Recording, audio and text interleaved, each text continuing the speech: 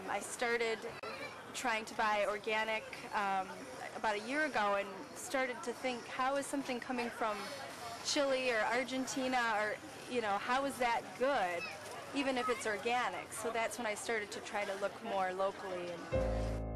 What happens when we eat only locally grown food? Well, I think um, just my doing it has made people around me more aware of what they're eating. You know, at my work, um, people were asking me questions. Is a local food diet really possible? We were really poor, and so much of our food supply came from gardening. And we, it was a huge garden. Is the local food movement just a niche market? Or could it actually feed all of us? You know, we can't predict the future, but we can we can create the future. A local food movement has begun. The seeds have been planted. But time is running out. Thank you. Have a great day. What will it take to make this movement a local food revolution? It is time to get real about food and the future.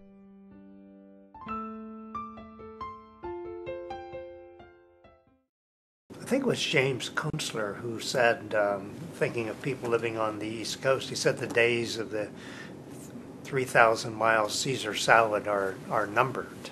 We know that uh, eventually uh, we're going to hit one of these these tipping points, and things are going to change dramatically in a not very not very nice way for uh, for humans. Today, the world faces a food crisis. Three and a half billion people live on less than $2 a day. They spend 50% or more of their income on food. A billion people worldwide go to bed hungry each night. And if world grain prices double, we're going to see a lot of hungry people in low income countries that import grain. From July 2010 to January 2011, the price of wheat doubled worldwide. Our current diets are highly dependent on an abundant, cheap supply of fossil fuels. You know, we have built the global system of outsourcing and production based on an assumption of cheap oil forevermore. We built the whole agricultural system that is dependent on cheap oil. The price of oil continues to rise as production plateaus and then begins to fall. This is a phenomenon known as peak oil. Global water shortages threaten a similar crisis, one known as peak water. The rule of thumb um, is that it takes a thousand tons of water to produce one ton of grain. 70% of all the water that we pump from underground or divert from rivers is used for irrigation. What most people have not yet done who recognize that we're facing a future of water shortages isn't they have not yet connected the dots to see that a future of water shortages will also be a future of food shortages. The great bulk of the 3 billion people to be added by mid century live in countries where water tables are falling and wells are already going dry. The economic and ecological effects of peak oil and peak water are intensified by climate change. As the climatic systems begin to be disrupted, uh, food production is disrupted, we are going to have to recover our capacity to grow our own food and put the priorities on the food that will sustain us in a healthful way. Over the past 30 years, we've, we've, we've arguably destroyed roughly 30% of the regenerative, regenerative capacity of the earth that, that sustains us. So this is not a matter about, of feel good. This is a matter of survival. We had relatively cheap energy. We had abundant water in many places. Uh, and we had climate stability. And, and, we know now that all three of those uh, have been seriously brought into question. I think it's a time of historic shifts. We live in a time of increasing peril, but we have faced profound challenges before. Perhaps in their memory we can find a path forward for us today.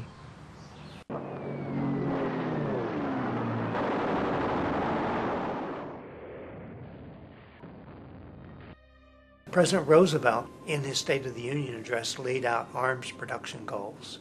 He said, We're going to produce 45,000 tanks, 60,000 planes, 20,000 artillery and anti aircraft guns, 6 million tons of shipping.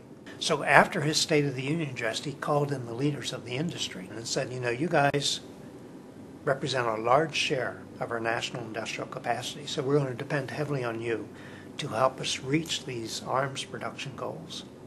And they said, Mr. President, we're going to do everything we can, but it's going to be a real stretch producing cars and all these arms too. He said, You don't understand. We're going to ban the sale of private automobiles in the United States. Overnight, literally, everything changed. In Muskegon, Michigan, the community mobilized. Men and women worked in factories round the clock. It was a transformative effort that redefined history. Almost seven decades later, these sacrifices are honored in the communities that made them.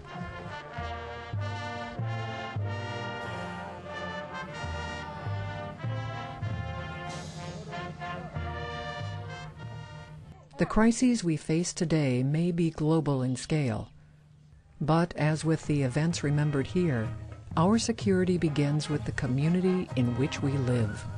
What we do here matters. We're in a new era where our well-being, our health, our youth, our security, our seniors, our food, all are going to be elements of our own production rather than our consumption. In this new era, food security increasingly depends on local production, distribution, processing, and storage.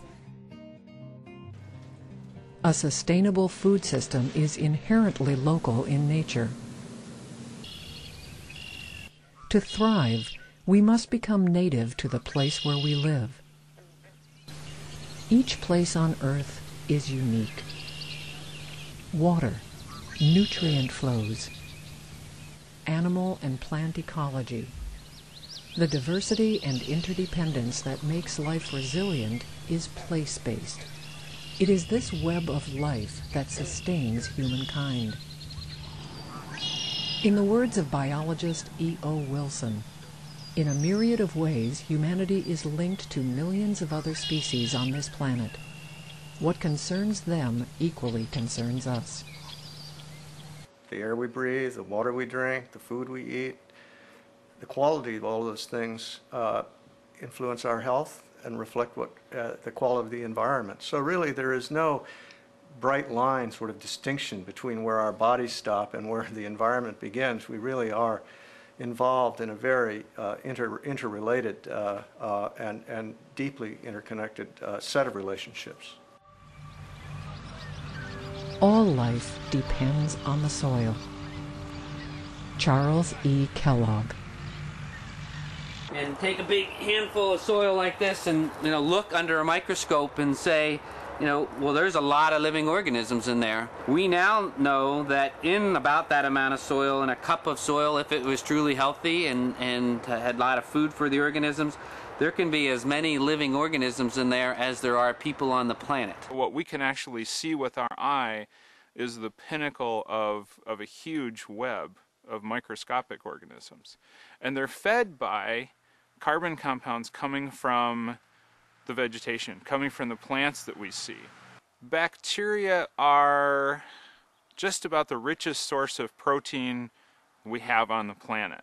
And the extra nitrogen that protein has to go somewhere and it gets excreted into the soil um, at a nice, slow, measured rate in a form that plants dearly love to take up. So this community is down there nourishing plants and building soil structure, making it easier for the roots to move through the ground. Agricultural practices at the industrial scale um, are just about the antithesis of what's beneficial to these organisms. I think we also need to remember that diversity itself uh, provides resilience to the ecological system. Uh, and so uh, when we, through our activities, begin to diminish that diversity, we also diminish the resilience of the entire system. The more we pour fuel, pesticides, herbicides, fertilizer, and chemicals into farming, the more we knock out the mechanism that made it all work in the first place. David R. Brower. I mean, that is the foundation, is the health of the soil.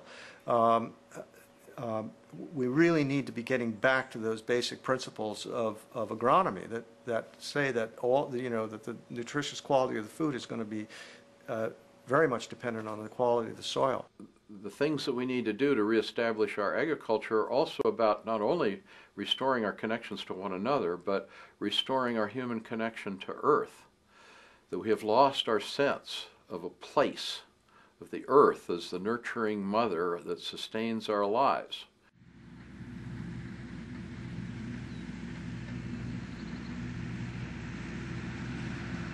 Paying attention to the details of this is, is really about place. I'm really grateful for the fact that even as a young man who didn't know what he was doing, that we landed on a piece of ground that was fertile enough and forgiving enough that we could stick with it. In the 1880s, it was uh, uh, hard maple, sugar maple, beech, hemlock, climax forest.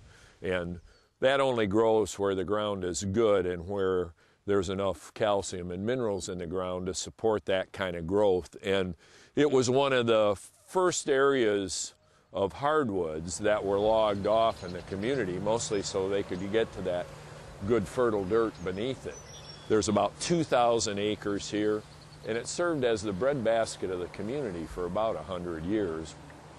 You know, I've lived in the same house for 38 years, and I can come out the door some mornings, and by the angle of the light and the bird song in the background and the feel of the air, know what I should be doing in terms of, of planting, harvesting, walking, taking a walk and seeing what's going on. All that comes from this sort of sense of place. And, you know, I, I, that's, a, that's a blessing. That's really a blessing. All of the things that we need to do to reestablish our local healthy food systems are also the same things that we need to do to rebuild community. And if there's anything there is a deep hunger for in our country, it is the relationships of caring community.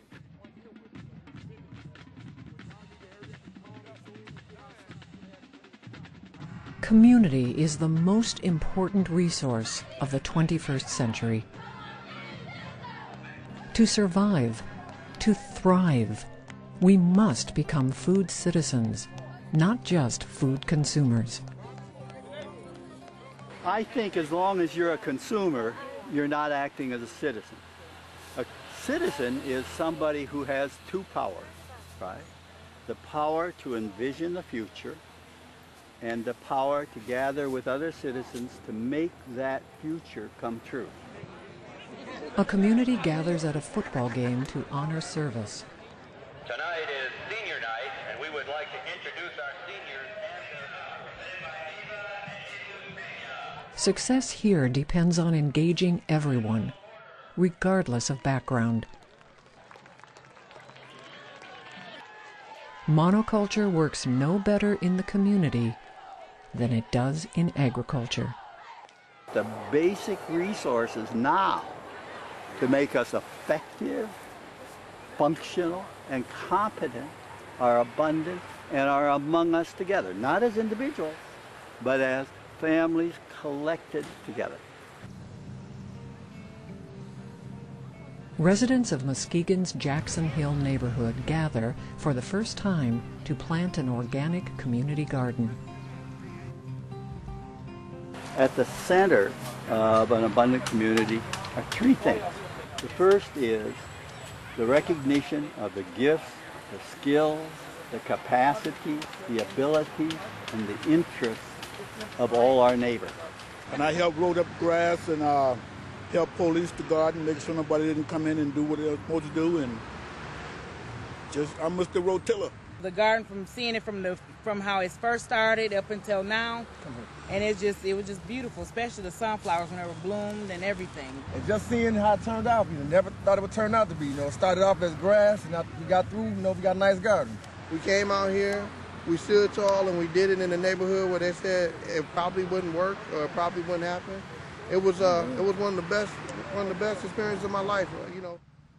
Everybody is imperfect. We're not going to perfect them, but we're going to love their capacity rather than their deficiency. A program at Muskegon's Bunker Middle School matches special education students with student leaders in a school garden program called Seed to Feed. Working in the soil, everyone is equal. Everyone is valued. In the late 80s, Bunker became primarily a middle school. Here we have um, African American, Hispanic, Caucasian all mixed into one place. We have a wide range of, of economic backgrounds. We worked with a group of peer leaders, eighth graders, that we trained with leadership skills, and then we took those young people into the classroom with the children receiving special ed services. So that meant the cognitively impaired students and the emotionally impaired students. What did I call it? And what else did I call it? They're, they're curious. Um, they'll come out and say, How are our plants doing? I'll say, Let's go up to the lab and look. When they dealt with them, they dealt more tenderly with those plants than they probably deal with their younger siblings. When something's cooking, everyone wants to know what's in the pot. And so what you see are students who, um, they didn't beg, but they said, Kurzel, I want to plant too. How do we grow food? How do we give people examples of sustainable landscaping? How do we use these spaces to bring people together? I think young people have the energy and the innovation to be leaders. When it comes to their health and making choices for themselves, I think that needs to be organic. It needs to come from them. Those are the kinds of citizens of which we're in desperate need. People who are advocates for themselves, but through advocating for themselves, advocate for others. The welcome and the invitation within a community and its edge magnifies everybody's sense that they can give. They can give.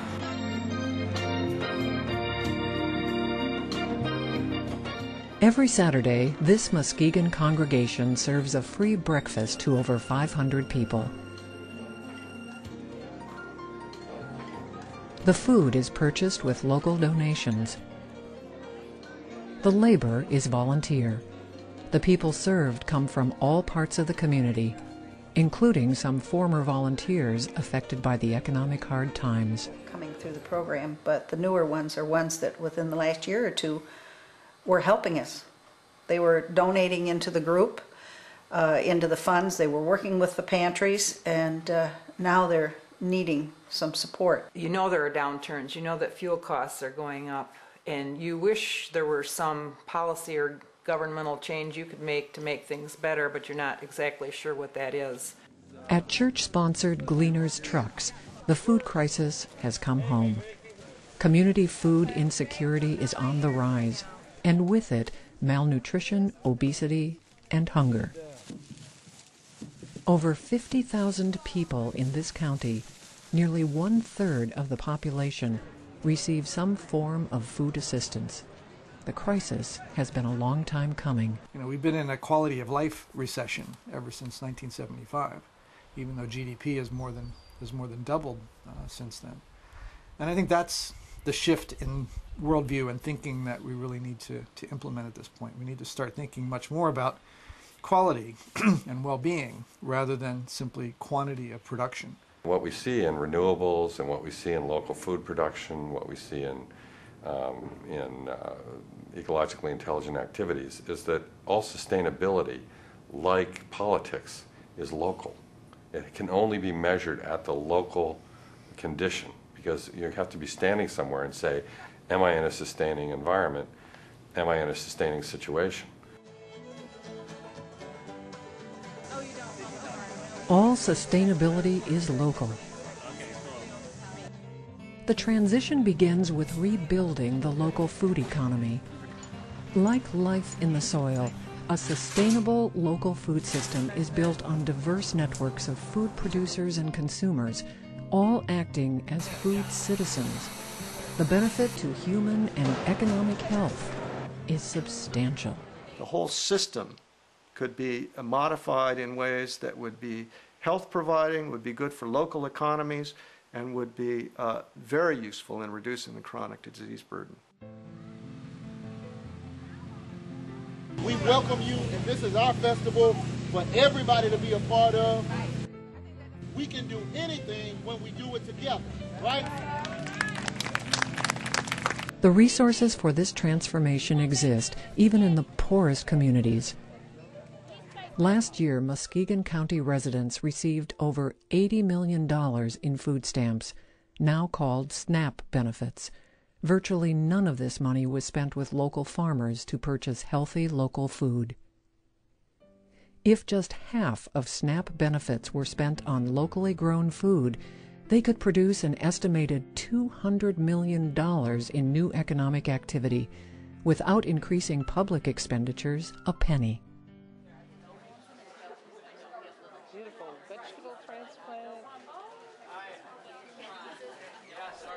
Since 2006, the Sweetwater Local Foods Market has offered organic, locally grown food, including fresh fruits and vegetables, and grass-fed, humanely raised meat and dairy products to food stamp recipients. I think we can also look back and see how we profoundly influenced human health by what we did. Uh, we, we have uh, taken the, the, the, the, the plant diversity out of our diets. We have brought into our diets processed foods. Uh, we brought into our diets uh, meat that is being raised uh, in an industrial uh, factory model, um, and it's reflected in our health. In Traverse City, Michigan, the local Catholic school system transformed its school's meals by purchasing food locally and preparing it fresh daily. In 2007, we set up a system called the Life Balance Initiative, which is a wellness policy to incorporate from scratch cooking and locally sustainable foods. What we do here is we take food in its purest form, minus the preservatives, food dyes, and we cook. We roast, we mince, we saute, we dice, and we julienne every day. We do as much as we can from scratch. Right now we have 40 gallons of chicken stock simmering back there, and what we'll do is we'll turn that into chicken noodle soup, which kids love. We'll turn it into chicken uh, tetrazzini. We buy local bread from a place called Bay Bread. We all know local organic products are going to be better nutrients for our kids. But what we're charged to do at schools is help kids grow in knowledge. And you can't do that when you're chuck full of everything that's processed. And so, logic behind the dollars and cents of it is we're in a private school, but our kids qualify for free and reduced lunch just like any other school in the country. Our lunch prices are very reasonable and comparable. And so, uh, so we're, we have figured out what it's going to take for us to break even. Over the time, though, uh, we've noticed that the kids crave good local foods. They're eating quinoa, uh, bulgur wheat, ratatouille. Most of the time, we're preparing meals for kids that any of their parents uh, would be thrilled to eat for lunch from a flavor factor and from a health factor. What this says to any parent coming in here is the school cares about my child in their entirety, and they care about my child the way I want them cared for. The people who are going to push uh, superintendents to act are school boards who get together and say, hey, this is right, what we're doing is wrong. Let's just do, this is an easy one. I think there's a dearth of, uh, of creative spirit in uh, a lot of the present activities. But where we see that creative spirit, we realize that that's the one inexhaustible resource is human creativity.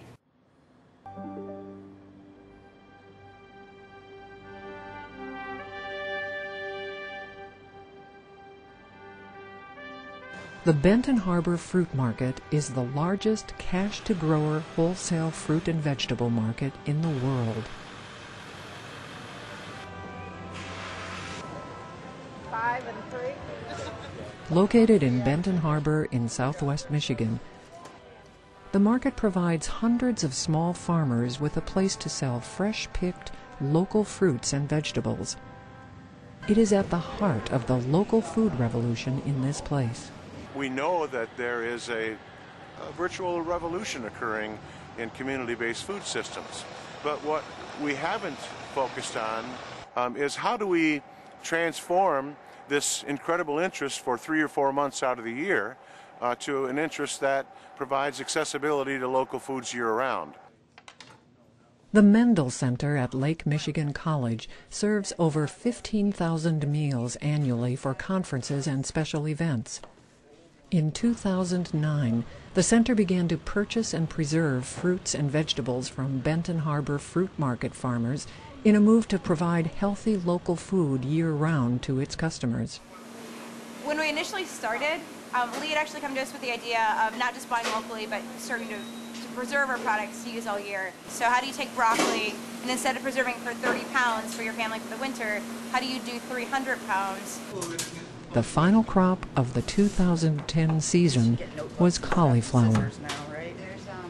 Um, we were preserving and putting up uh, local cauliflower um, for the winter, and so we we uh, have a process where we um, cut it and get it ready to boil for a, a couple of minutes, blanch it, and then we shock it in ice water. And then we put it on pans to, to drain a lot of the liquid out, uh, the water out, and then we put it in bags and preserve it for the winter. Actually, after looking at the money, we spent um, a surprising number less with our general distributor in the past year. Um, and with that, we took that money's now been spent locally, and we've also saved a lot of money. We love it. We, I, it's, it's the next best thing from, from being fresh. I mean, we, we, the things that we do get in, if we have to buy it from a large purveyor, does not even begin to compare in flavor and texture, appearance, and we get a lot of really good comments back from our guests, so we love it. I think the principal significance of the Mendel Center and Lake Michigan College uh, in, and their commitment to a community-based food system is that it opens the door for others to realize that if they can do it, we can do it. If we are in a moment of crisis, we are also in a moment of growing opportunity. The local food movement can become a revolution if we are intentional in our efforts and design.